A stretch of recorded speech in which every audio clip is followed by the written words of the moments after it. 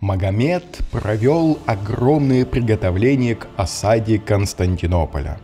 У него была потрясающая пушка, сделанная в Адрианаполе, способная бросить каменный шар диаметром 9 футов. А это 270 сантиметров на минуточку. И это настолько огромное ядро, что оно уперлось бы в потолок в любой стандартной квартире – со стандартной высотой стен имею в виду. И бросить такое ядро пушка могла примерно на одну милю. А это порядка 1600 метров. Чтобы доставить это грозное орудие в Константинополь, пришлось преодолеть 108 миль на пяти парах валов. В момент сражения пушка на седьмом своем выстреле разорвалась. Магомед предстал перед городом с армией в 250 тысяч человек и флотом из 420 кораблей, поскольку завоевание и разграбление греческой столицы было самой богатой наградой, которую можно было себе только представить.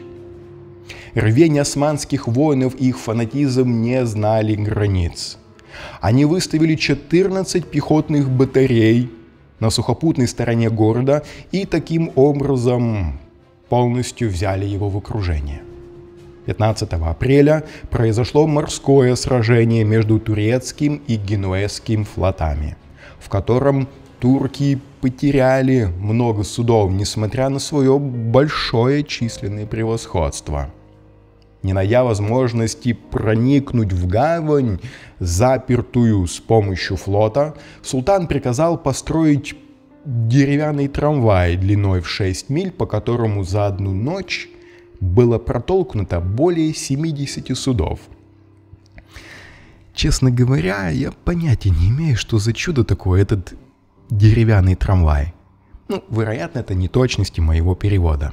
Но как его ни назови, а был создан коридор, по которому турецкие суда вошли в гавань. На утро Корабли видели на якоре посреди гавани Константинополя, к бесконечному удивлению и ужасу греков. После 50-дневной осады, в результате которой были разрушены четыре башни и образовалась большая брешь в воротах, султан призвал Константина сдаться – и вот это тот самый момент, который изображен на гравюре, а следовательно и на карте. Император ответил, что будет защищать до последнего свою империю. После этого султан приказал начать общий штурм с суши и с моря.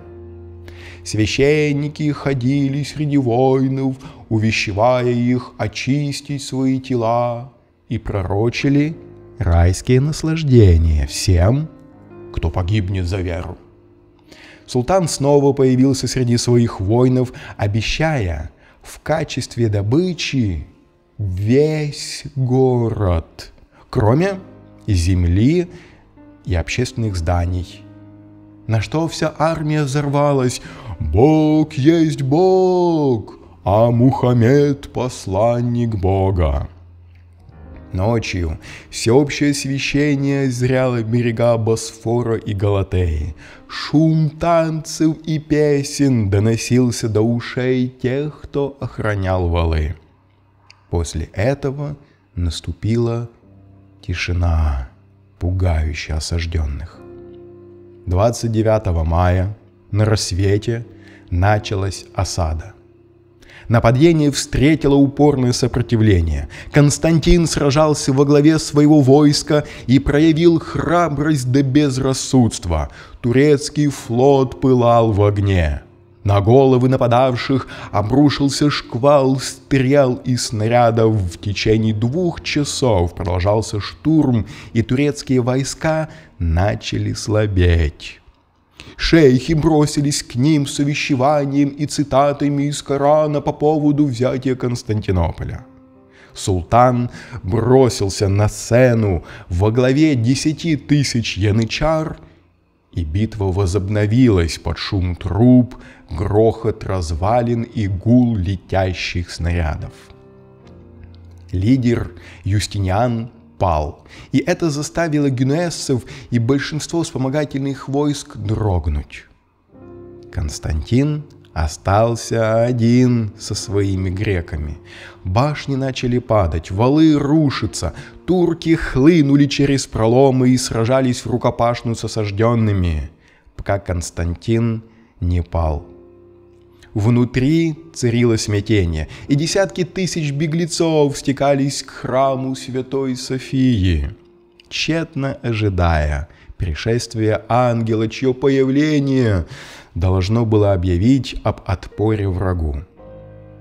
Единственным чудом, которое им явилось в тот день, было падение церковных дверей под топорами победителей.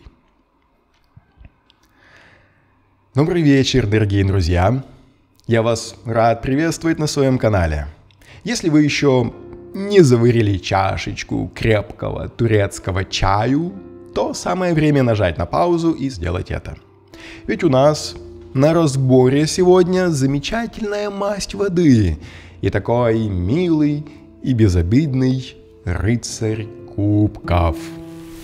Герой сегодняшнего аркана по имени Магомед II или Махмед II, он же Фатих, кстати, весьма популярный, на удивление, персонаж. Если вы любите исторические красочные картины с такими вот масштабными сценами, то рекомендую к просмотру фильм. Называется он 1453, ну, имеется в виду год, Фатих, или 1453 Фатих. В переводе звучит как 1453 завоевание. Гравюра к сегодняшней лекции выполнена Гюставом Дере, а вступительный текст взят из книги, которую написал Джеймс Бойд. Не путать с Джеймсом Бондом. Уверен, что в свое время издательство заплатило приличную сумму нашему французу за полноформатные 100 гравюр. Не зря же они такими огромными буквами это написали, чуть ли не на обложке. Я, кстати, кто помнит, в первой вступительной лекции когда посвящал вас в биографию Гюстава Дере, говорил, что наличие его работ в книге легко помогало поднять ценник в несколько раз. Вот почему за ним выстраивалась очередь из желающих. Эта книга, о которой я сейчас говорю, по сути является историческим учебником, который раскрывает тему крестовых походов. На протяжении всего сбора материала я задавался вопросом, а при чем тут рыцарь кубков? Какая связь между султаном-завоевателем и собирательным образом с нашего придворного аркана? Ну, конечно, кроме буквального прочтения того, что мы видим на карте, вот эти вот волны, то, что сам Магомед стоит в воде – так вот, главное, за что ухватился мой мозг, это вера.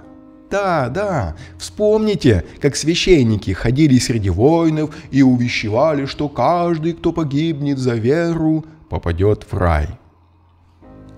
А все крестовые походы, разве не церковь вложила мечи в руки солдат с обеих сторон? Разве не из ее уст вырывались благословения на пролитие крови. Вот вам и связь между мастью воды, верой, пусть и номинальной, но имеющей огромное влияние, и войной, которую вел Магомед II. Ну что же, я предлагаю разбираться более подробно в нашей сегодняшней карте, но сперва обратите внимание на гравюру, которая послужила основой для нее – Теперь вы более живо представляете тот накал, те страсти, те эмоции и ужас, что разыгрались на изображении. Посмотрите на людей, барахтающихся в воде. Можно без привлечения сказать, что наш рыцарь кубков всех искупал, всех напоил сполна. Просто буря какая-то на карте разыгралась. Ему бы подошла роль повелителя стихии. Как будто бы это он своим кличем поднял волны в море. Как будто бы от его голоса галеры зашатались, как кораблики в водовороте очень, очень воинственный персонаж. И даже визуально, кстати, не в пример классическому аркану. Вот сравните, как они оба выглядят. Насколько этот спокойный, умиротворенный и в целом дух карты такой. Вода, все в окружении. И здесь. Уверен, что в работе вот с этой колодой этот бурный поток воды, он скажет свое слово. И лошадь, закинувшая голову, и то, что она стоит на твердой земле, хотя вокруг вода, и то, что наш рыцарь сухой, суши не бывает, при том, что люди вокруг утопают. Ну, мне кажется, что я на самом деле уже забегаю, так сказать, э, наперед, бегу впереди паровоза и уже залез в следующий раздел. Давайте я вам предложу структуру, такую, скажем, как пространственный стеллаж с пустыми полками и номерками напротив каждой полки. Структуру, которую стоит запомнить и применять каждой карте, заполняя пункт за пунктом. О чем речь? Давайте сейчас покажу. Каждый аркан, он может отыгрываться как что-то внутреннее, содержащееся в нас самих, так и что-то внешнее, какие-то внешние обстоятельства, что-то снаружи. И когда такая карта выпадает, любая, вы задаете в первую очередь такой вопрос. Что это? Глядя на соседние карты, глядя на ситуацию или исходя из вопроса, это что-то внутреннее или что-то внешнее. Вот эти самые волны, эта самая буря, страсти, эти эмоции, они разыгрываются внутри человека? Или это какие-то внешние обстоятельства, которые влияют на человека, заставляя его реагировать соответственным образом? Как Константин, который был вынужден реагировать на эти волны, которые поднял Магомед. Это один из моментов. Следующий – это аркан, который идет до и который после. Напоминаю, что перед рыцарем у нас шел паш, после рыцаря у нас королева. Рыцарь, он занимает некий такой промежуточный этап между знатью, да, уже между королем и королевой, и между пажом, который вот только-только он поступил в королевский двор, когда он еще учился, когда он постигал какие-то, скажем так, тонкости, грани науки. Пажи, как правило, все пешие, а рыцари, как правило, все на лошадях, во всех колодах. Чаще всего так и есть.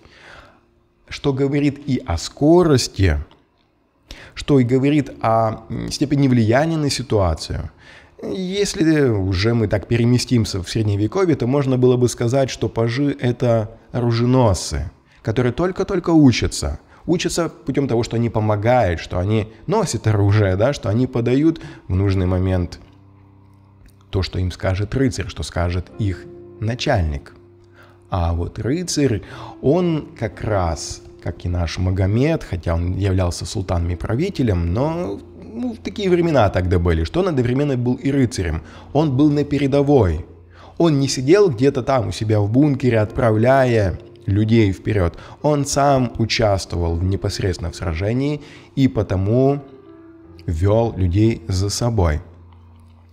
Следующий этап Следующая карта имеется в виду степень влияния на ситуацию, это королева, которая уже находится на дне, и, конечно же, она будет сидеть в дворце. Она явно не вспрыгнет на лошадь и не будет скакать и выполнять чьи-то приказания. Карта до и после помогает нам понять, о чем говорит та, на которую мы сейчас смотрим. Следующий пункт – это статика или динамика. Глядя на каждую из выпавших карт, задаем себе такой вопрос. Статичная или динамичная картина разыгрывается? Конечно, если мы смотрим на нашего сегодняшнего персонажа, то это динамичная карта. Но сравните вот этих два аркана. Поза у лошади Магомеда более напряженная. Хотя оба не скачут, да, что здесь, что здесь, во весь опор. Но в целом дух карты из колоды ДР создает неспокойную атмосферу. И не последнюю роль, кстати, в этом сыграли волны. Да, именно эти бурные чувства кроются в характере нашего воина. Он не делает предложение кубком, да, вот как на классике. Он скорее произносит победный клич. А вспомните предыдущую лекцию «Рыцарей мечей» из колоды Уэйта. И насколько он выглядит устрашающе и напористее, даже больше, чем Магомед, не говоря уже об этой карте. Вот вам и казалось бы, динамика и там, и там, но насколько она разная. Поэтому буквальное прочтение имеет место быть. И оно в каждой колоде, в каждой колоде свое. Об этом стоит помнить и не пренебрегать. Буквальное прочтение – это как следующий пункт. Буквальное прочтение носит характер оракульного. И мы, по большому счету, занимаемся описанием того, что мы видим. Уделите этому несколько мгновений, и вы быстро заметите различные детали. Лошадь горцует. Она готова стать на дыбы. При этом по лицу рыцаря видно, что он что-то говорит. Рядом люди, утопающие во власти его стихии. Он одет в дорогие одежды, а значит, своей внешностью не пренебрегает. У него перо, на шлеме. И хотя это масть кубков, но много ветра присутствует. Именно он поднимает волны, некоторые из которых достигают головы Махмета. А это, знаете ли, такой уже намек, что у него эмоции могут преобладать над разумом. Дымящийся корабль наводит на мысль, что наш персонаж не против и повоевать, но, конечно, вам он скажет, что он тут ни при чем, ведь у него в руках оружия нет. Его оружие – это эмоции. И в относительной безопасности здесь только те, кто стоит на суше, на твердой земле. Это те, кто не поддался на чары водной стихии. Ну, вот примерно таким образом можно описать увиденное на карте. Поступайте подобным образом – с каждым арканом, и вы сможете вытянуть, сможете почерпнуть много важных сведений. Символика. Символика как следующий пункт. Традиционные символы на карте Уайта, конечно, вам всем знакомы. Это и кубок, как символ масти, и как символ того, что он делает предложение. В руке, кстати, кубок. И крылья на голове, крылья на ногах. И накидка, расшитая фигурками красных рыбок, намекая, что наш рыцарь в своей стихии, как рыба в воде. Это и белая лошадь, да, этот знаменитый рыцарь на белом коне. И такой же рыцарь в этих сияющих доспехах. Водный поток посреди пустыни. Еще много всего другого. Но наш главный герой сегодня не имеет устоявшихся символов. Гравюра не делалась специально для колоды карт, и потому Дерен не потрудился нарисовать маленьких рыбок на плаще Магомеда. Символикой тут скорее выступает буквальное прочтение, да, о котором я говорил выше, и те очевидные детали, которые вы просто можете заметить. Ну и в целом, да, вот вся история, описание, исторический эпос относительно этого персонажа. Кстати, Махмед тоже нес предложение, да, как здесь кубок, но тут у него не кубок, тут предложение у него было в виде буквального предложения Константину сдаться. Следующий пункт – это масть или знак зодиака. В данном случае мы обращаем внимание на масть. Что это? Какая-то стихия. И масть сегодняшней карты – это кубки или чаши, стихия воды. А вода, в свою очередь, это чувство – но с другой стороны, вы же помните, что все рыцари — это воздух. Они быстрые, они на лошадях, они ветреные. У них и в голове ветер, и в ногах. А помните, кстати, какой еще персонаж из придворных арканов тоже имеет вот такое вот двойное сочетание воздуха и воды в своем характере? Бинго! Девушка справа забирает приз. Королева мечей. Почему? Потому что все королевы — это вода. И в том ее отличительная особенность, что она кстати, в отличие от своего мужа, способна подчинить эмоции, собрать волю в кулак и направить свою воду в нужное русло, благодаря стихии воздух. Наш сегодняшний герой, несмотря на каламбур слов, схожести с королевой мечей, на нее не совсем похож. Его вода, доселе спокойная у пажа, теперь раздувается ветром. Теперь на этой спокойной водной глади появились волны. Посмотрите на эту карту, как мощно они перекатываются, взбивая пену. Очень неспокойная вода, которая способна накрыть с головой и в которой можно захлебнуться. Кстати, в перевернутом положении этот рыцарь и сам теперь оказывается поглощен пучинами своих же волн – и теперь не он управляет над ситуацией, а она над ним. Упал с лошади, так сказать. И, кстати, кстати сказать, весь захват Константинополя был весьма эмоционален. Все в духе стихии воды. Помните? Обещание отдать город на разграбление. Так вот оно было выполнено. Начал царить хаос. Каждый был сам за себя. Городские жители, кто мог, откупался имуществом, чтобы остаться в живых. Иные храм рассражались. Балом правила анархия и неразбериха. А сколько флота было сожжено, людей убито, пока взяли столицу. И вся эта операция от момента, когда она стала идеей и до реализации, не была сухим расчетом это амбиции, это эмоции.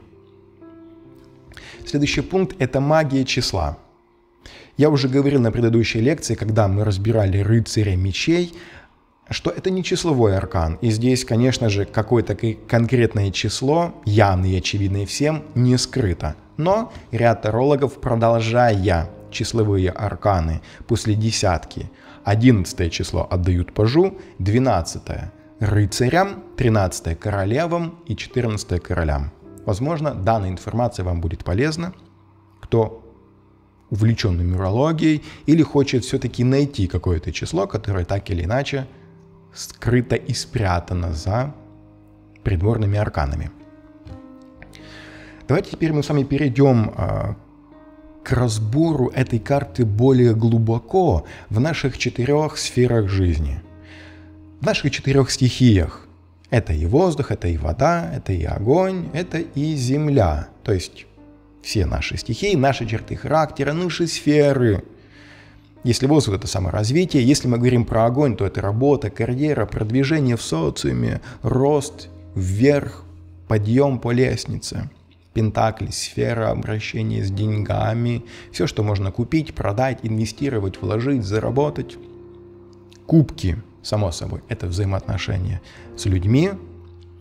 Так вот, если мы говорим о саморазвитии, если мы говорим о стихии воздуха, то когда речь заходит о саморазвитии, я имею в виду не просто банальное описание характеристик рыцаря, рыцаря кубков или его черты, а именно те уроки, которые этот аркан содержит в себе – те уроки, которые нам необходимо пройти, я бы сравнил это я бы это сравнил с узким лучиком яркого фонарика, который подсвечивает вот именно те участки, на которые нужно обратить внимание. Словно как бы выхватить их из общей картины. Это как, знаете, вот прожектор на сцене выхватывает главного героя, артиста, стендапера, который выступает на спектакле. Вроде бы вся вот картина имеется, но что-то конкретное мы должны понять. Вот это и будет тем акцентом, тем подсвечиванием, что мы должны понять по саморазвитию. То есть попытаюсь послужить этим самым фонариком, который светит на общую характеристику рыцаря. Конечно, рыцарь кубков может описывать не только человека, но и ситуацию. Но вот в разделе саморазвития нам все-таки важен именно персонаж, его внутренний мир. Именно масть кубков указывает на то, что это эмоциональная составляющая нашего характера, нашего внутреннего мира. Давайте попробуем разобраться на противопоставлении других стихий. Представьте себе человека, вот как он есть, со всем, что ему полагается с рождения, по умолчанию. Я вам сейчас позадаю вопросы, а вы постарайтесь мысленно на них ответить. А я, в свою очередь, постараюсь, что я как бы вас слышу, представить, да, что я слышу ваши ответы. Итак, возвращаемся к стихиям. Скажите, какая стихия отвечает за внешний вид, за красоту тела, стройность фигуры, у мужчин за рельефность мышц, у девушек за плавные обводы талии? А, пентакли. А какая стихия отвечает за мыслительный процесс, логику, ум, размышление? Да, я вас услышал, это мечи. А за нашу харизму, за нашу энергию жить, стремиться к вершинам. Да, это жезлы, это огонь. Ну и, конечно, за наши эмоции, за то, что так больно, ну так приятно сжимает наше сердце в груди из-за чего ком подкатывает горлу, а ноги рвутся в пляс просто от услышанной мелодии? За это отвечает стихия воды. Итак, наш рыцарь кубков обращает внимание на наш эмоциональный фон. Душевная приподнятость, влюбленность по уши, мечтательность, легкость на сердце и мир в душе – и просто счастливое состояние. Это все те грани нашего существа, которыми ведает стихия воды. А что отвечает за то, чтобы на свет появился шедевр живописи или был написан потрясающий трек, тут же взорвавший социальные сети? Кто ответил вдохновение, тот уловил, к чему я клоню. Да, именно творческий порыв, воображение помогает сделать это. И обратите внимание на глагол «помогают». Да? Не просто сделать, а помогают сделать. То есть работу можно в принципе сделать и без порывов, без вдохновения. Но все мы знаем, что с ним любое, даже самое трудное задание выполняется не только легко, но и с удовольствием. И хотя эмоции они больше похожи на хаос и анархию, чем на математический порядок, но именно этот хаотичный внутренний порыв способен такой устроить подъем, что в миг можно навести порядок и дома, и на работе, с девушкой помириться, коллег удивить. Нам же всем знакомо это прекрасное чувство, которое возникает как бы беспричинно, как будто бы из ниоткуда. Но вот задача. Как сделать так, чтобы вот это вот волшебное, эйфорическое состояние приходило тогда, когда нам нужно? М? Ну, кто, конечно, может сказать, «Э, братюня, я знаю способ, как вызвать такое состояние. Я другое имею в виду. Первый шаг на этом пути это осознанное внимание и творческое размышление. Вода и воздух, да? Ведь наш рыцарь – это воздушный аспект воды, и он соединяет в себе инь и янь, мужскую и женскую энергетику. Он способен созерцать и поглощать, а затем отдавать. Иногда готов, да, брать сам – по такой мужской энергетике, чтобы поглотить, то есть насильно. Да, рыцарь еще далеко до короля, который умеет управлять не только собственными эмоциями, но и эмоциями окружающих людей. Рыцарь сейчас он только на той стадии развития, когда он пытается управлять собственным творческим вдохновением, собственными порывами, собственными эмоциями, находя внутри нужные точки, нужные ниточки, за которые он будет дергать, чтобы привести себя в необходимый тонус. Вот этот вот самый вдохновленческий тонус. Это период в жизни, когда необходимо использовать свои таланты и наклонности для внешней реализации. Практические занятия творчеством, они помогают в этом. Если мы с вами будем говорить о следующей сфере нашей жизни, это карьера, самое первое, что приходит э, на ум, что-то творческая работа. Это таланты, навыки, умения, которые помогают реализоваться в карьере. Конечно, можно привести целый список творческих профессий, от музыкантов до актеров. Но вы знаете, и бухгалтер, увлеченный своей работой, со стороны может выглядеть как настоящий творец. Кстати, может быть, вы помните или смотрели фильм, а, он называется «Расплата», в главной роли с Беном Аффлеком. Помните эту историю про математического гения, который подрабатывает э, аудитором или бухгалтером для преступных организаций? Когда он проводит аудит в компании по производству робототехники и обнаруживает там какую-то вот нестыковочку на миллионы долларов. Ну, разве это обычный счетовод? Посмотрите на него со стороны. Это же творчество чистой воды. Грустно, что многие из нас занимаются не тем, что откликается в их душе, а тем, что навязано обществом, что вложили родители, что престижно или что выбрали твои сверстники. Я уже неоднократно приводил в качестве примера слова из Библии. «Видал ли ты человека, проворного в деле своем? Он не будет стоять перед простыми, перед царями будет стоять». Как видите, человек, увлеченный тем, что делает, дойдет до того уровня мастерства, что о нем заговорят при королевском дворе. Поэтому рыцаря, кубков можно воспринимать и как совет, если таковой, конечно же, требуется нашим клиентам или нам самим. Он увещевает, что работа будет иметь творческую составляющую.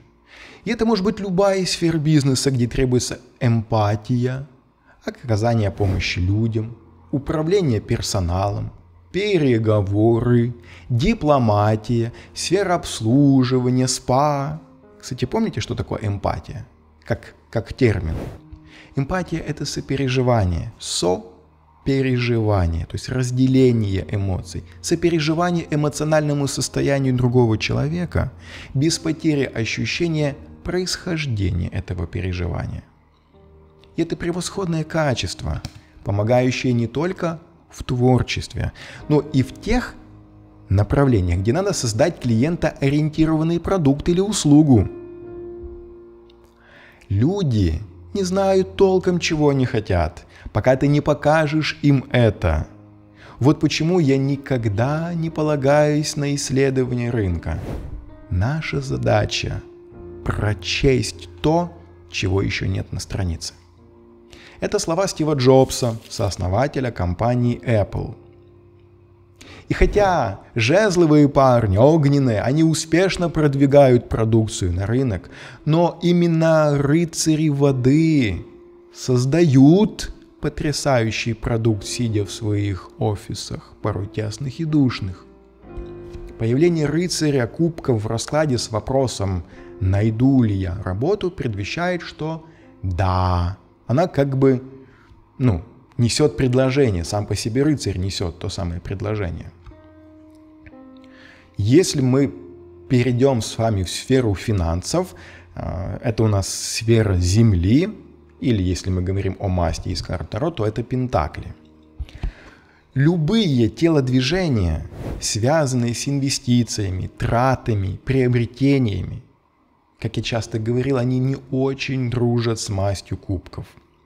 Почему? Потому что такие люди могут быть очень вовлечены в происходящее и не замечать очевидных вещей. Вы знали, например, что человек, каждый из нас, человек, принимает решение о покупке в первые 15 секунд. Это происходит почти моментально – и при этом, как правило, еще отсутствует какая-то объективная информация о предмете сделки. Это только потом человек может получить какие-то дополнительные сведения, размышляет о преимуществах, о недостатках товара, сравнивает, как на чашах весов, его с каким-то аналогичным предложением и так далее. Но для этого надо же мозг включить, а эмоции отключить. А мы-то с вами, мы с вами существа эмоциональные. Не верите? Откройте шкаф, сделайте ревизию вещей. Задайте себе вопрос, зачем мне столько всего? Бежевое пончо? Че, серьезно? И когда я его последний раз надевала? А эти туфли, которые жутко неудобные, но совершенно потрясающе выглядят. Ты в них шла всего один раз в день покупки из магазина домой. Вы думаете, что? Мужчины другие? Конечно же, другие, скажут мужики.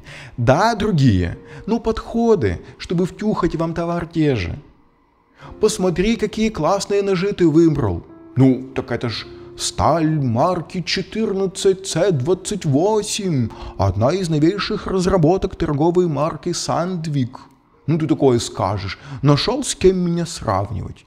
Это же вещь, это же сделано на века. Это вообще Инвестиция, можно сказать. Ты серьезно? Хром ванадий, сталь ламинат, на века. Это такие же эмоциональные уловки, как и у девушек. Только терминология другая. Проанализируйте все свои вещи и покупки, даже если они практичны и даже если они действительно нужны, то в свое время были выбраны, в том числе – Потому что, во-первых, это красиво. Поэтому появление рыцаря в раскладе, связанное с вложениями, с инвестициями, стоит рассматривать более внимательно. Тут может быть как собственная эмоциональная вовлеченность, да? когда мы не видим, разум не соображает, так и наличие мастера втереть очки про хром ванадий или туфли за полцены. Вот если напрямую этот аркан и не предвещает получение прибыли, то в зависимости от конкретики вопроса может в принципе указывать на успех в делах, на какой-то потенциал, за которым уже и потом последует доход. Естественно, соседние карты в раскладе об этом подскажут. Вспомните, кстати, Магомеда – Помним, да, что вскоре после осады Константинополя его же ожидают несметные богатства. Поэтому, опять же, соседние карты, конкретика вопроса, к чему мы придем, к чему мы продвинемся в будущем после этой карты. Переходим с вами в отношения, в масть, которой и ведает как раз наш рыцарь кубков. А знаете, как называют этот аркан в профессиональных кругах? среди тарологов. Ну, из песни слов не выкинешь. Ну так, скорее как сигнификатор все-таки негативного персонажа. А вот как какую-то ситуацию, разыгравшуюся между двух близких людей, может показывать при соседних хороших картах как предложение руки и сердца, например, или иной душевный порыв, но который явно придется по вкусу второй половинки. Наш рыцарь теперь направляет всю свою безграничную фантазию на покорение сердца дамы. Он смело накатывает на нее волнами своей стихии, с головой накрывая ее. Он не берет деньгами, или внешней красотой. Он не завоевывает сердце, подобно рыцарю жезлов, своей энергетикой и харизмой. Нет, он просто так сладко вливает в уши свои медовые слова, что редкая барышня устоит перед его чарами. Девушки любят ушами – и рыцарь кубков, как никто другой, зная, что через них можно отлично влиять на эмоции напрямую. Письма, смс сердечные признания, стихи, восторженные отзывы и открытое проявление чувств – это лишь базовый набор, хранящийся под плащом у рыцаря кубков. Наш герой симпатию не скрывает, он ее выражает цветами, конфетами, пушистыми зайчиками и нежными поцелуями. Если это описание отношений, то достаточно будет сказать, что это конфетно-букетный период, когда оба партнера открыты друг перед другом, когда оба эмпатичны, помните способность проникнуть во внутренность другого, посмотреть на себя его глазами. И так делают оба, смотрят друг на друга. Оба наслаждаются обществом друг друга. Желание проводить как можно больше времени вместе. И порой тут важна каждая маленькая деталь. Ей придается огромное значение. Оно навсегда врезается в память, и даже если со стороны кажется мелочью. Это танец под дождем или прогулка босиком по росе на рассвете. Это безделушка, но с определенным понятным только вам двоим смыслом. Это ваша песня, с которой связана дата или первый поцелуй. Это его клетчатая рубашка, это ее аромат духов, который больше никто не носит. А он так забавно поправляет мне волосы, никто другой так не делал. А она так мило смеется, у нее улыбка только на одну сторону, ты представляешь? Она в целом идеальна. Ну, эта улыбка, она так ей идет. А тот дуб, под которым мы сидели, и помнишь, нас еще покусали майские жуки – этот список можно продолжать до бесконечности. я уверен, что каждый из вас мог бы его дополнить еще парочкой таких же своих бесконечностей. Рыцарь кубков, он делает то, что невозможно порой ни понять, ни объяснить. Но он дает это почувствовать. Он напрямую отправляет свои послания в наши сердца, он напрямую смс-очку шлет прямо в сердце. Этого не делает никто другой из рыцарей. В этом его сила, в этом его слабость. Сладкий торт, конечно, прекрасен. Но что мы будем есть завтра? Конфетно-букетный период не должен длиться вечно. Ему нужно перерасти во что-то следующее и в идеале во что-то серьезное, а не слиться, упорхав на крыльях любви, подобно маленькому амурчику, в сторону другой обожательницы. Вы стали уже догадываться, что я говорю о реверсе, о негативном прочтении, о несерьезности, о незрелости персонажа. Да, у него больше стало навыков и больше опыта, чем у пажа. У него конь в конце концов появился – но ему не достает зрелости, чтобы включить в себе другие стихии и выйти на серьезный бытовой уровень, при этом не растеряв своей романтичности, конечно. Такой человек в реверсе легко путает любовь и влюбленность, причем совершенно искренне будет хлопать глазами и уверять, что еще вчера он по-настоящему любил тебя, Антонину но сегодня его сердце принадлежит Наташеньке. Ему по-прежнему близки высокие идеалы любви. Просто он запутался. Он не хотел бы причинять боль. Просто не в силах сдерживать и контролировать себя.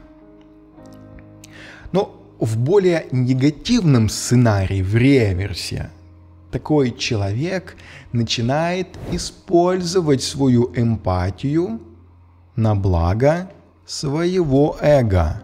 Он начинает искусно манипулировать чувствами другого. Он способен проникнуть, но получив информацию, начинает использовать как шантажист на благо себе. Из довольно очевидного негативного проявления это может быть и злоупотребление алкоголем, запрещенными веществами. Это может быть зависимость от секса, которая часто выражается в походах налево, ветер в голове, так сказать. В реверсе эта карта также может отыграться как что-то внешнее, что-то снаружи, так и что-то внутреннее. Снаружи, то есть внешне, ситуация такова, что все как бы подталкивает к действию. И стрелы Амура, они то тут, то там рассекают пространство. Но внутри человек неуверенный, робкий. Синдром подростка, который не может купить презервативы в аптеке. Внутри человек решителен, готов раскрыться в своих чувствах. Но снаружи остается невостребованными его предложения. Человек пребывает в иллюзиях. Безответная любовь получается. По энергетике такой аркан может говорить о неком недоборе или переборе. Если мы говорим о недоборе, то не хватает решительности. Замыкание в себе. Человек не способен дать выход своим чувствам. Он как будто бы закольцовывается. Эти чувства начинают бегать внутри него, не выходя наружу. Перебор – это листец, вероломный и обманчивый человек. На лицо показуха, двуличие, те самые манипуляции и так далее. Как итог сегодняшней лекции, я хотел бы сказать, что лучше быть мягким снаружи, твердым внутри, чем твердым снаружи и мягким внутри. И правильный рыцарь кубков учит именно этому. Он учит, что стоит взять на вооружение свои творческие эмоциональные порывы и словно направить их в одну точку, чтобы они превратились в мягкие капли воды, но которые камень точит. Это потрясающая стихия, которая учит нас быть эмпатичными, словно впитывать в себя переживания другого человека.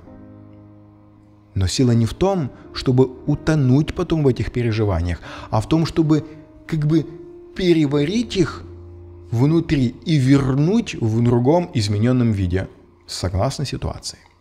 Тут уж вам выбирать на благо себе или на благо этого другого человека.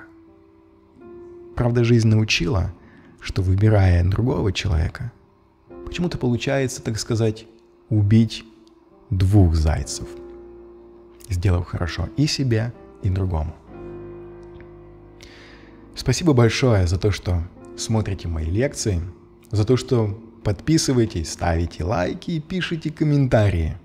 Это мне очень приятно. Вдохновляет меня, стимулирует на дальнейшую работу. Желаю вам удачи, всего самого лучшего и до свидания.